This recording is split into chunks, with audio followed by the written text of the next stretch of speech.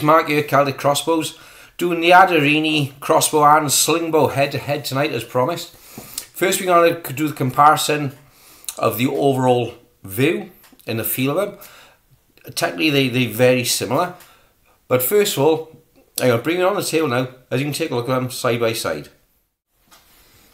Okay, so as you look at the, the two Adderinis now, the left being the slingbow and the right being the crossbow. Going to come in a little bit. Now, physically, from the frame downwards, uh, they're identical. And the magazine, identical. The only general difference being is the limbs assembly and the um, the riser assembly. But as we turn the side here now, we can see more. Uh, the handle, the rear of the body is, is exactly the same. It, it's physically um, identical.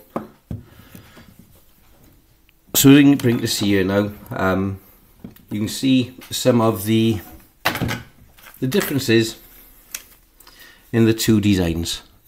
So the handle and the body being uh, virtually identical. This of course being the, the button for the laser. So we're going to look at them one by one and have a head-to-head -head shoot. First thing, we're going to have a look at the Adderini Slingbow. The one thing I will say is a nicer feel in the hand, is a much better feel. Because of the balance, there's no weight out the front. Um, there's a really nice balance to the Adderini pistol. Um, the grip is identical, uh, it's from the same moulding. So as you expect, it's exactly the same. Um, trigger aesthetics we'll come into a little bit later. But for general balance, holding on target. You can see I'm right-handed, but my my master eye is my left eye. I can use my right eye, but I prefer my left. So, okay, now with the Adderini crossbow, she is a bit nose heavy. I know I got the weight of the hollow sight on the back, but held out. I'm going to come back a little bit, as you can see.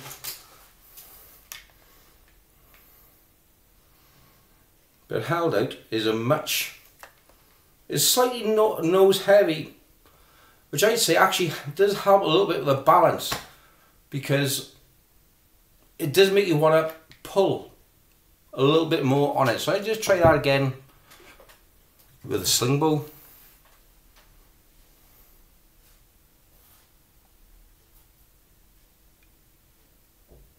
no no I stick with my original thought. Is, is a nicer balance to the sling bow than the crossbow version. Okay, next up we're looking at loading the magazine. Now first of all, this is again, this is down to the printing and the making, so is a beautiful release on the magazine on the sling bow version. Bolts, standard bolts going in mine.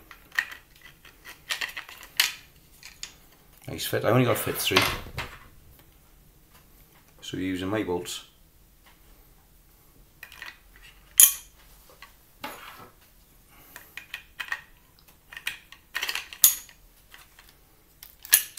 Lock. Lock the limbs in place.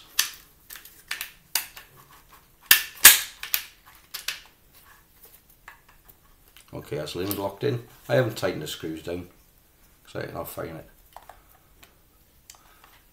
Okay, let's try was loading the Adderini crossbow.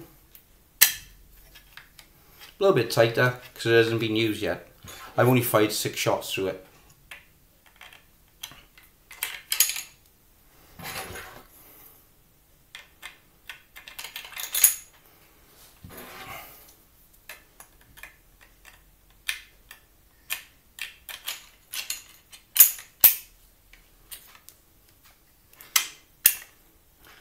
As expected, um, loading is exactly the same on the Adderini crossbow as the Adderini pistol. Let's try and cycle the first shot. Okay, that's nice. Now should bring it back up. Decock. It's working nice. Let's try it with the sling bow.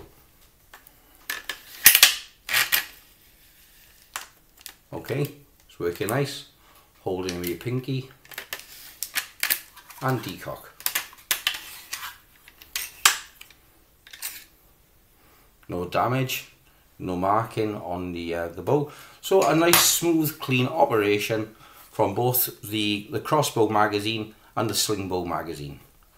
Okay, now I was going to do a comparison on the sights, but I won't be able to do that because the Adderini pistol sling bow is fitted with standard open sights, whereas on the, the crossbow I've got my uh, hollow sight.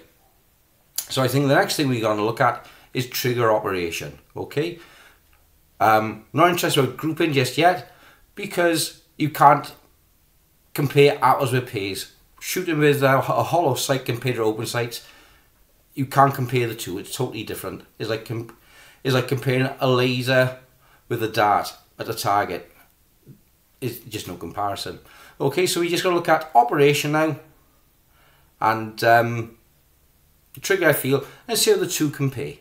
Okay guys, we're with the Adderini Slingbow now. We're at my international firing position as recommended by His Majesty Georg of Sprave.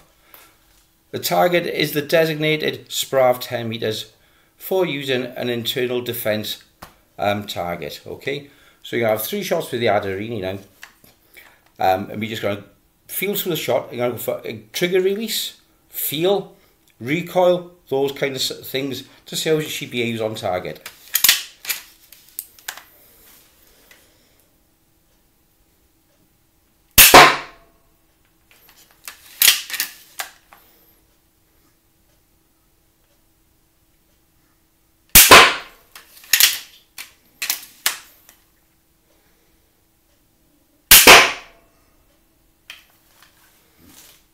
and onto the uh, crossbow. Guys, we are with the crossbow now.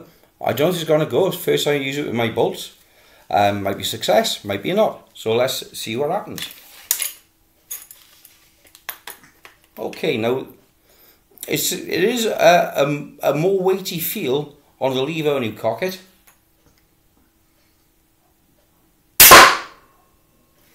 And it definitely, as you can a bigger thunk on target. It, it really whacks it home.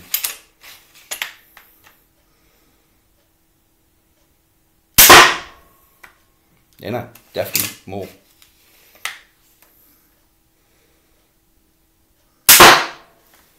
Yeah. Yeah. Okay. Okay, guys, we're down at the end of my international firing range. Um, I hope you greatly approve. I do. And um, we're going to have a look here now. The bottom three, these three here, bump, bump, bump. These are from the Adderini. The top three, bump, bump, bump, these are from the crossbow. Now let's have a look here. See if we can get an angle on this scissor, guys. We'll come up from underneath. See if we can get an angle from underneath. I, I, actually, I'm going, to, I'm to get a tape measure. I'll be back Okay, now. guys, we're back on target. And today, measuring it is provided by um, Team Zippo. And uh, from a 1980s Zippo tape measure. So let's have a look here now. Let's have a look at the overall length of what's gone in. So this one is nine inch, six inches proud, five and three quarter inches proud, five and three quarters, five and a half, five and a half, five and a half. So there's definitely a difference between the Adderini crossbow and the Adderini pistol. They are both rated at around about 55 pounds. You see how easy these come out now, the bolts. These are easing a little bit more, that one. So let's have a look at these tips first. Okay, bring it in the camera. No damage to the tip, no damage to the bolts. Same again. Where's the camera gone? No damage to the tip. People say the, the alloy's always damage on uh, the targets. Not mine. As I've shown in many videos, you guys looking. No damage to the tip. No damage to the uh, the nock. Okay, okay, okay. Now let's look at the, the crossbow. Crossbow fired bolts. Much deeper in. We're half, half a deep again. Okay, same again, look. No damage to the tips, straight into uh, hardboard, chipboard. No damage.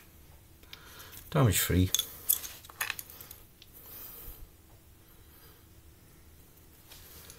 We're back at mission control. What's my conclusion at this? Right, okay. The Adderini Slingbow is much nicer to use. Um, the way the, the power is delivered, it gives smoother acceleration, less recoil in the hand, um, and not because of the uh, the rubber band system. Is how the rubber band accelerates, um, it gives a, a, much smoother push to the um, the bolt. Um, is a much nicer feel on a trigger. Um, and I think these are excellent for younger shooters or someone learning to shoot new. Okay. Um, I would say they make an adequate self-defense weapon. Uh, shit, it's the fan. You're home alone. You're in the middle of Antarctica, and you've got some lunatic coming in with it. With it is a doodah hanging out and carrying a baseball bat. Would I use it? You bet your ass I would. Crossbow version. Pros and cons. Okay.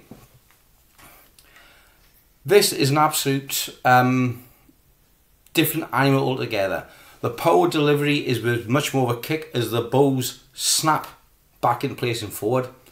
Um, I would say the the string is easier to change on the sling bow than on the crossbow. The reason being is on the sling bow, if the, the rubbers break, you can just quite simply release the tension bring the limbs back, change your cable tie, change your string, change your rubber, change your cable ties, um, whatever needs to be done. Whereas on the crossbow version, um, you're going to be need to monitoring regular your string way, like all crossbows, so this isn't just unique to the Adderini, anything um, with a string, you've got to monitor your string closely.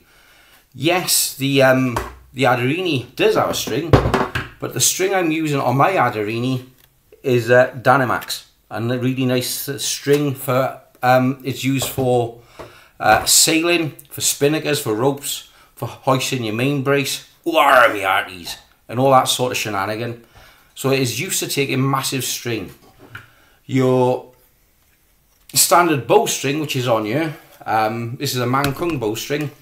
Um, it needs to be lubricated regular. I would say every 15 to 20 shots. I know had 10 shots on this, I have seen a little bit of a wear, but again, the system is wearing in. It's uh, it's um, given a choice between the two, I think I would go for the crossbow before the pistol version. Although the crossbow is more expensive. The reason being you've got to obviously pay the extra for the limb, limb tips, uh, the extra nut and bolt inside, string. Um, the Adderini is more compact, and the Adderini sling bow is more compact. I think better for home defence in the fact that you can keep it close to your chest. If you're sliding down a wall and taking a quick shot, it is quieter in operation. Whether this is because the extra strain on the mechanism from the bow, I do not know. I have not looked that far into it.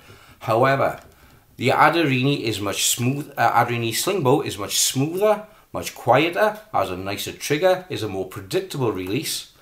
Um, and for me, I, I think if I was using for close range home defence, I would go for the Adderini sling bow before the crossbow. Again, though, is an alternative, alternative to that. The crossbow is more reliable.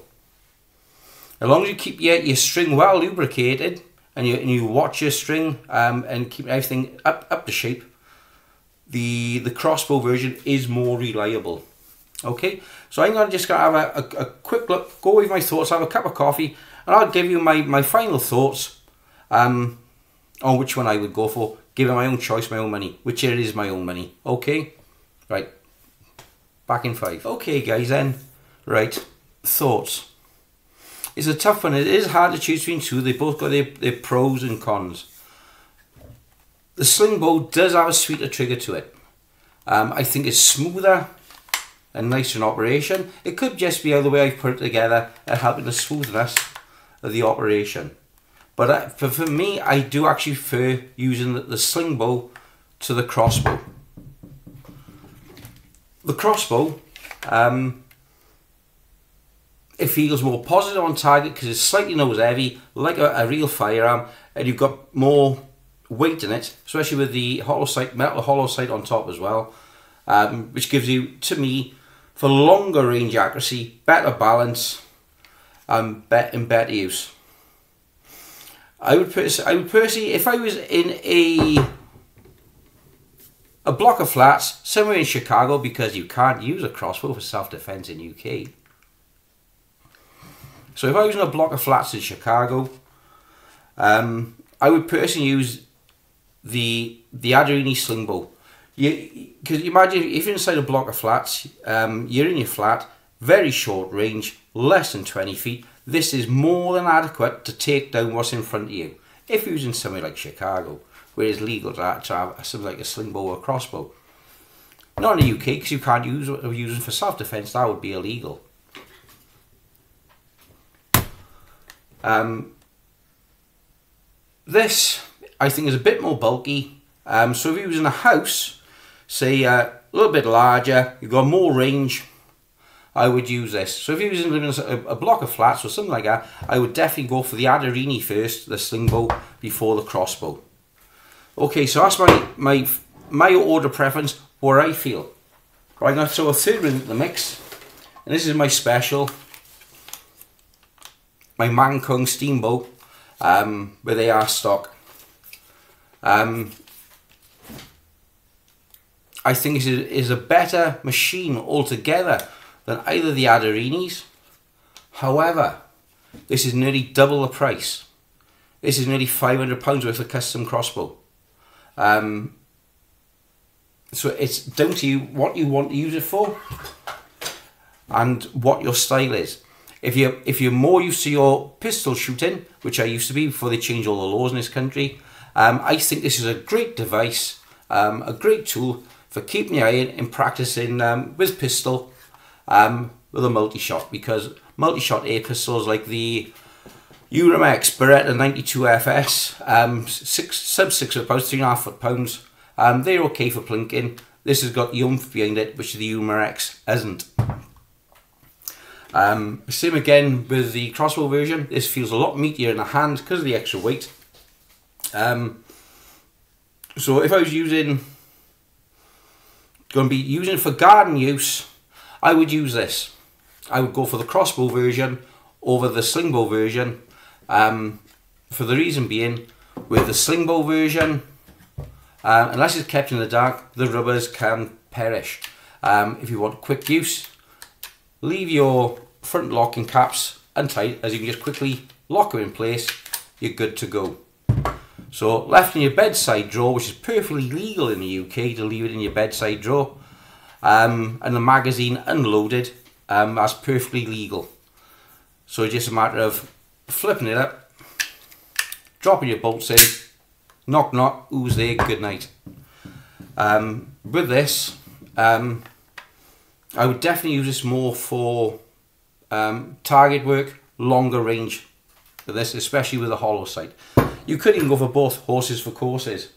Um, and then again, going back to the steambow, um, steambow, something like this, um, you've still got the same shot capability, um, much more stable on target, longer range, um, and a lot more expensive, especially with the oh, the ninety pound Pro Prod on there, um, custom body, custom trigger, custom stock, um, the custom magazine, everything about this is custom. Just press pause. The only thing which is original on my Steambow Alligator is the frame. That's the only thing original. That's the original trigger, that's gone custom.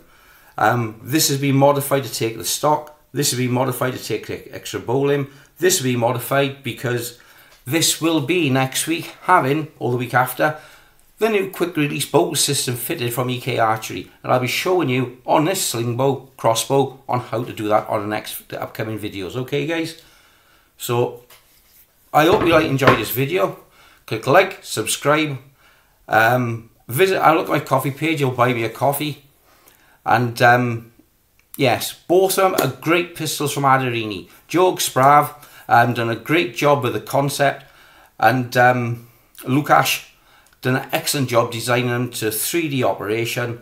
Alex, my friend, done a great job printing them, and of course I've assembled them for you guys to enjoy. I'll look at my coffee channel, they will be for sale on there. Um, and we will be doing in a couple of weeks uh, um, the quick release bowling, bowling system for your Cobra, Ang, Mankung Alligator, OP360, Bear Desire XL, quick release bow system for those.